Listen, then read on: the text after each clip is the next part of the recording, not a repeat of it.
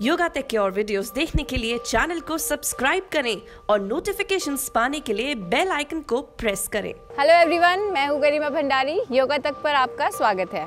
आज की क्लास में मैं आपको इनवाइट करती हूँ एक टोटल बॉडी एक्सपीरियंस करने के लिए with a lot of mindfulness आज की प्रैक्टिस में हम फोकस करेंगे on completely relaxing our mind and relaxing our body and specially ये उन लोगों के लिए है जो लोग बहुत ज़्यादा टाइम नहीं निकाल पाते हैं जिनका स्केड्यूल काफ़ी टाइट है सो so, वो सिर्फ़ फाइव मिनट्स का टाइम निकाल के एवरी डे इस प्रैक्टिस को इनकॉपरेट कर सकते हैं अपने स्केड्यूल में। सो so, आज की जो प्रैक्टिस है वो बहुत ही इजी प्रैक्टिस है जैसे कि मैंने आपको कहा और इसे आप एनी टाइम एनीवेयर प्रैक्टिस कर सकते हैं। इमीडिएटली आप जब उठते हैं तब अगर आपकी बॉडी महसूस करती है फटीक कम महसूस करती है उस समय एंड जब आप सुबह उठते हैं तो आपका माइंड भी काफ़ी ओपन होता है एंड बॉडी काफ़ी रिसेप्टिव होती है टू एक्सेप्ट एनीथिंग न्यू जो कि आप अपनी बॉडी के साथ करते हैं। बट एज ए मैंने कहा कि अगर आपका स्केड्यूल बहुत टाइट है और सुबह आपका रूटीन बहुत रश होता है तो आप इवनिंग में या फिर सोने से पहले इस पाँच मिनट की प्रैक्टिस को कर सकते हैं। सो लेट्स गेट स्टार्टेड सबसे पहले आप इस तरह से अपने मैट पर एकदम ईजी लेट जाएँ एंड उसके बाद अपने लेग्स को इस तरह से फोल्ड करते हुए नाइस एंड ईजी अपनी नीज़ को अपने चेस्ट के पास इस तरह से लेकर आएँ, अपने हाथों से, अपने लेग्स को सपोर्ट करें। एंड एक मोमेंट लें यहाँ पर अपनी ब्रेथ से कनेक्ट करने का setting an intention and breathing deeply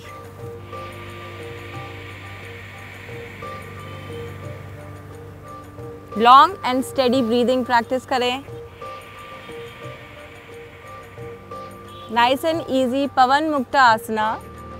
इससे आपके बैक पेन में भी काफ़ी आराम मिलता है। एंड किसी भी तरह का अगर आपको स्टमक में डाइजेस्टिव uh, इशू है स्पेशली अगर गैस की प्रॉब्लम है या फ्लैटुलेंस की प्रॉब्लम है तो उसको भी ये ठीक करता है। उसके बाद आप जेंटल ट्विस्ट प्रैक्टिस करें पवन मुक्ता आसना में। Giving your spine a nice gentle twist and जहाँ तक आपकी बॉडी अलाउ करती है, वहाँ तक there is no pushing no stretching and release उसके बाद अपनी लेग्स को इस तरह से इंटरलॉक करें एंड अपने नीज़ को राइट right साइड में ड्रॉप करें एंड लेफ़्ट साइड की तरफ़ अपनी विजन को सेंटर करें. Spread your arms wide and अपने पूरे स्पाइनल कॉलम में एक डीप स्ट्रेच को महसूस करें।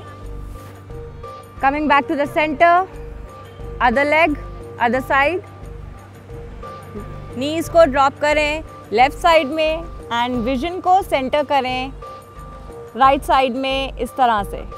वंस अगेन अपनी बैक पूरी बैक में specially your lumbar spine feels a nice deep stretch and centre की तरफ़ रिटर्न करें।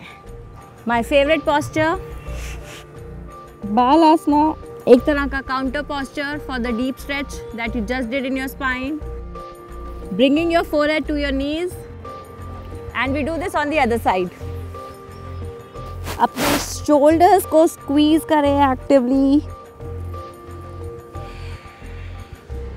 सेंटर एंड जब आप रेडी फील करें तो अपने हाथों से सपोर्ट करते हुए, अपने पूरे बॉडी को come back to your centre तो ये थे कुछ इजी रिलैक्सिंग स्ट्रेचेस जिसको कि आप माइंडफुली प्रैक्टिस कर सकते हैं every day any time anywhere and अगर आपको हमारा वीडियो पसंद आया तो योगा तक को फेसबुक पर फॉलो करें एंड यूट्यूब पे सब्सक्राइब करना ना भूलें. नमस्ते.